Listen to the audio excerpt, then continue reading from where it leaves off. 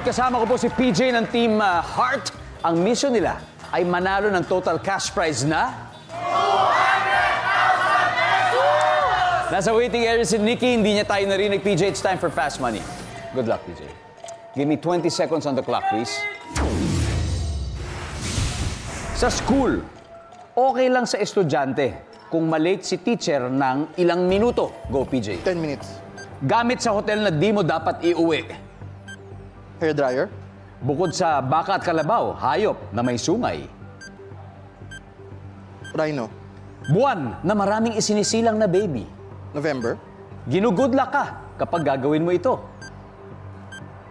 Exam. Masaw.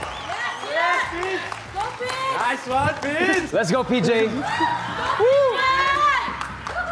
Sa school, okay lang na malate si teacher ng ilang minuto. Sabi mo, 10 minutes, pwede yan. Sabi ng survey ay. Boom! Nice one! Gamit sa hotel na hindi dapat inuuwi, hair dryer. Ang sabi ng survey ay. Yep, may isa. Bukod. Bukod sa bakat kalabaw, hayop na may sungay, rhinoceros. Ang sabi ng rhino. Sabi ng survey ay. Good answer. Whoop! Buwan na maraming sinisilang na baby, ang sabi mo November. Ang sabi ng survey ay... Yes! Kinugud luck ka pag gagawin mo to. Ang sabi mo, tuwing exam. Survey says... Answer. Yes! 108 to go, PJ. Let's welcome back Nikki.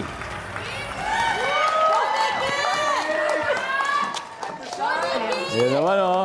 Galing-galing, oh. Nikki, eto na. Okay. Si PJ ay nakakuha ng 92. Ibig sabihin, 108 na lang. Parang, isipin mo, parang kalahati-kalahati na lang. Okay. Kayang-kaya mo yan. Okay. Good luck. Okay. Kaya Thank yan. you. Kayang-kaya mo to. Makikita po ng viewers sa bahay ang sagot ni PJ. Okay. So give me 25 seconds on the clock. Here we go. Sa school, okay lang sa estudyante kung malate si teacher ng ilang minuto. Go. Go. Five. Gamit sa hotel na hindi mo dapat iuwi. Tuwalya. Bukod sa baka at kalabaw, hayop na may sungay. Takat kalabapas. Buwan na maraming isinisilang na baby. Uh, September? Ginugudla ka pag gagawin mo ito. Magsasali sa competition. Bukod sa baka at kalabaw, hayop na may sungay. Aso? Aso. Let's go, Nikki. 108 points. That's all we need. Eto, unahin natin to. Bukod sa bakat kalabaw, hayop na may sungay, ang sabi mo, aso. Hindi, alam mo, Nikki, alam ko naman na, kasi naubusan tayo ng time eh.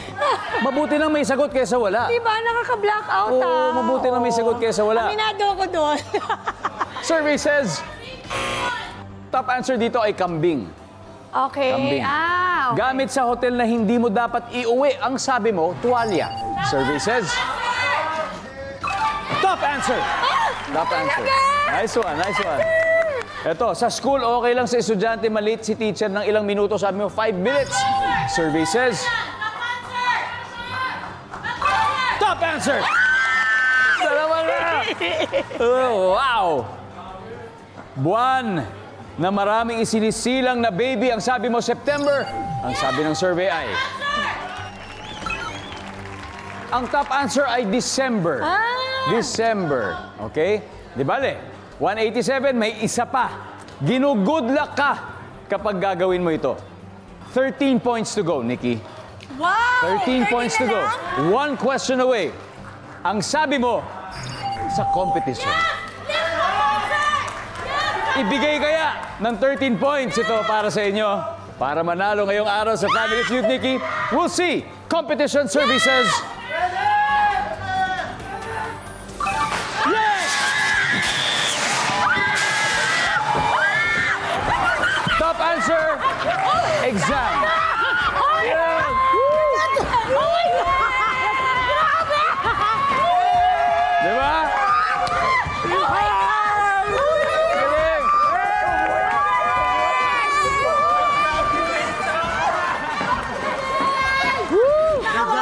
Nakakaiyak.